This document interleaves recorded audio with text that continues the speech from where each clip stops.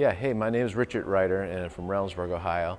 And my wife Linda, she's involved in Nelson's uh, coaching and uh, the, the network and that. And she is a relatively new pastor, actually. She is one of the first female pastors in the movement called the Vineyard and she's a lead pastor as well as a church planter. And one of the things that I've just really seen happen with her over the uh, past six years since she's planted this church is with Nelson's coaching, she's really been able to have some materials, and like I told her, it's just uh, as, as she's got some concrete to work with now, concrete building materials. And I've seen uh, just in her whole countenance and the way she leads the church, I've seen her become a more directive person, a more, uh, more of a style of pastor, like she really knows, you know, where she needs to go now and has the tools to do with it what she needs to do. So it's been exciting for me to see her uh, really becoming fulfilled in this uh, capacity that she's in. And so I got to really thank Nelson Searcy and what he's been doing and uh, allowing women to be part of this coaching network as well.